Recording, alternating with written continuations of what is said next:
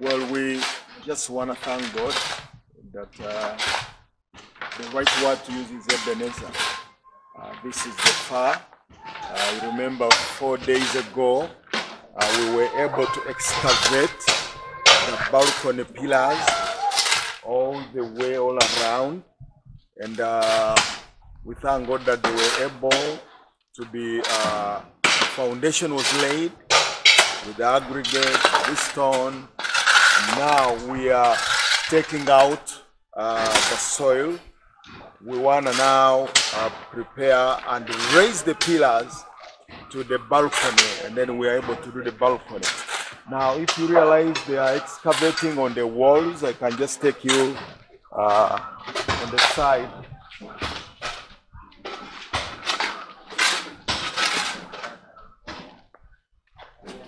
Uh, this uh, this originally could not hold uh, uh, a storage structure, but now if you look down, we are going down to the foundation, and then we are going to cut these uh, uh, these uh, columns, and then we are going to now uh, put reinforcement so that it will be able to hold both uh, the, the, the balcony where people will be sitting to, uh, in the sanctuary, and there will also be offices.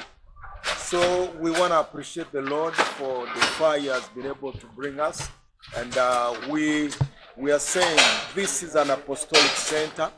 Many years ago, I used to travel to the nations until the Lord spoke to me. Says Mbale is the world center, and uh, so we are building this apostolic center as a training center.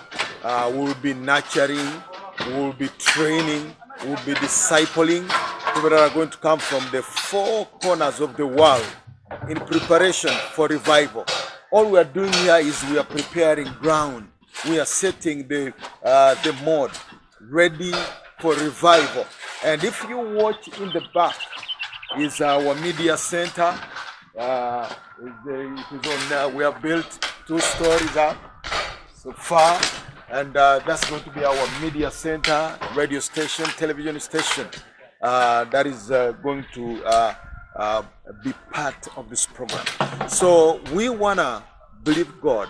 We are requesting for your prayers, and we wanna thank God for those of you that have been able to support. We are saying we need more support. We need urgent support so that this uh, uh, section could be completed within the next one month. We need your prayers. We need your support. And the Lord will abundantly, abundantly bless you. Jesus made a statement. He says, I will build my church, and the gates of hell shall never prevail. We trust that the Lord will use you. How many people have passed on during this COVID time? And uh, they were never they were never able to impact their generation. But uh, you know, they were they could have been millionaires, they could have been anything. But uh, we thank God that God has given us an opportunity to be able to build him a sanctuary that will be a, a- healing center. Uh, you know, people who come from all walks of life to come to the sanctuary. God bless you. This is Apostle Philip Charo here in Mbale, Uganda, Africa. Thank you.